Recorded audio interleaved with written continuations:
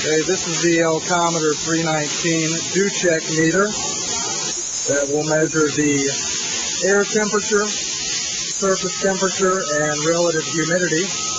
And uh, all you have to do is hold the unit up to the surface of the part that you're wanting to measure, and it'll give you all of the environmental parameters at that time, and it calculates the dew point for you. And if you want to log the data, you can do it manually just by pressing hold. So it'll hold all the parameters at that particular moment and save.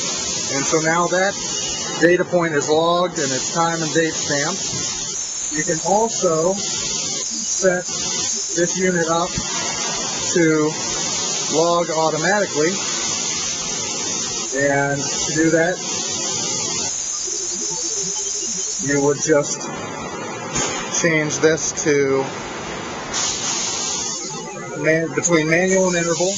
We want to go to interval and hit OK. And now you can set this to a particular time. And if we wanted this to measure every, say, five seconds, then you just hit OK. And the delayed start off is fine. And you can just hit OK. So now, every five seconds, a reading is going to be saved.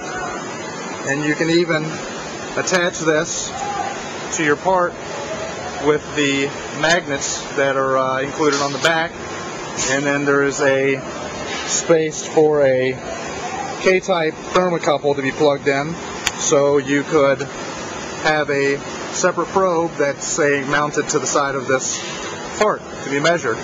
Or you could leave this in an environmentally controlled room and be logging the data at uh, your defined intervals. So that is the useful and versatile Elcometer 319.